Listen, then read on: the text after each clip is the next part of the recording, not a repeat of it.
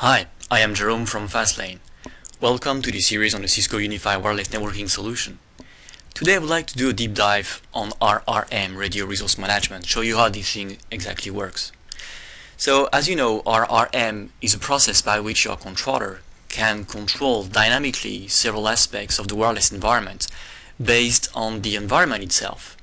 And it actually does two different things. The first one is to manage the access point power level and channel. That's the first aspect. And the second one is to detect holes in your coverage and dynamically adjust the power of the access points as well.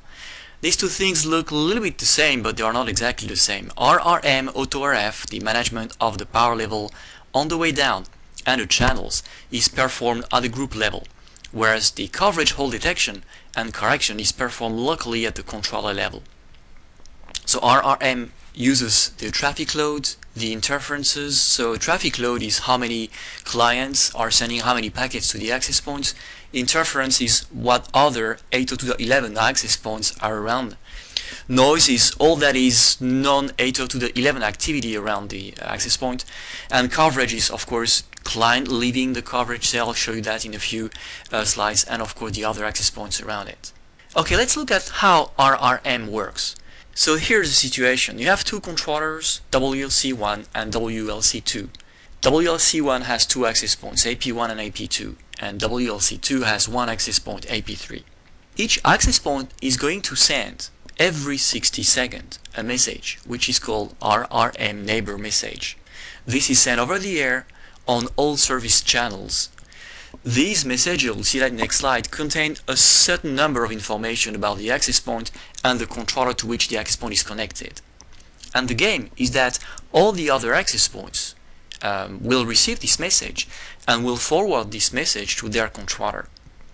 Which means that somehow the message is going to start from WLC1, go to AP1, leave the network on AP1 on its radio and maybe be captured by AP2, AP3 or some other access points and be sent back to their beloved controller. Which means that if AP2 is hearing the message, AP2 is going to send it back to the WLC1. Why do we do that? Well, because the access points sending the message back to the controller will also forward information about the radio environment, such as how strong the signal was heard, what kind of a um, interferences were heard, what kind of noise level uh, was detected, and so on and so forth. And this will also allow your controller to detect which access points are hearing each other and which are not hearing each other. So in the example here, you see that we have room 1 and room 2. As we suppose that rooms are well isolated, um, access points in room 2 will not hear access points in room 1, which means that when the traffic will be sent out of AP1 radio, no access point is going to hear this message and no access point is going to feedback WLC1 with the information that someone heard AP1. This will allow your WLC1 controller to understand that AP1 is alone in its wireless environment. There is no surrounding access point around this access point. When AP2 is going to send its message, AP3 is going to be in range and will receive the message from AP3, uh, from AP2, sorry. So AP3 is going to forward this information to WLC2. And if WLC1 and WLC2 are in the same RF group, that is to say, if they communicate with each other about RRM messages, they will be able to determine that AP2 and AP3 are in the same wireless environment. And they will be able to work together to determine which access point should keep its channel, which one should leave its channel if they are overlapping, which power level should be set, and so on and so forth. And the way it works is that when the RRM message comes back to the controller, the controller will create what is called an AP group. And the AP group is basically all the access points sharing the same wireless space. So in my case, room 2 will have two access points in the same AP group, AP2 and AP3, whereas AP1 will be alone in its own AP group because nobody is hearing it, so it will be in its own group. Okay, so your controller can create a certain number of groups depending on which access points are hearing each other. The key here is that WLC1 and WLC2 should work together, right? Because if they don't work together, basically each of them will create its own AP group, but they will not be able to exchange this information.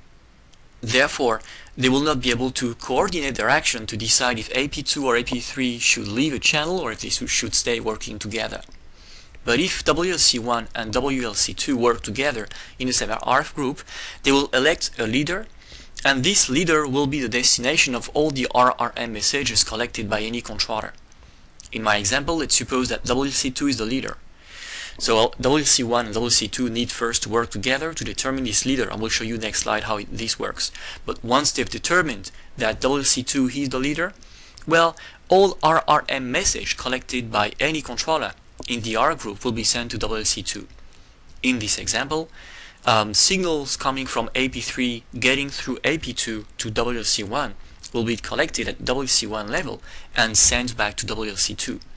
So WLC2 will know that both AP3 and AP4 and AP2 sorry are in the same uh, room and in the same RF environment. And WLC2 will be the one as the leader to determine which access point should stay in its channel and which access point should move if required. Here are a few information you need to remember.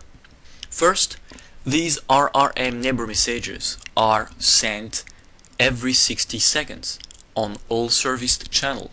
So if your access point is allowed to use 1 to 11 channels, it's going to send a message on all these 11 channels in a burst and then come back to its main channel. It is sent, this message is sent at the lowest mandatory speed at the max power. That is to say, you know the power level number one, which is the maximum power allowed in your country. Well, that's the power that the access point is going to use to send its message. This ensures that all the access points, as far the signal can possibly go, will receive this message and of course forward it to their controller. These RRM messages contain several information.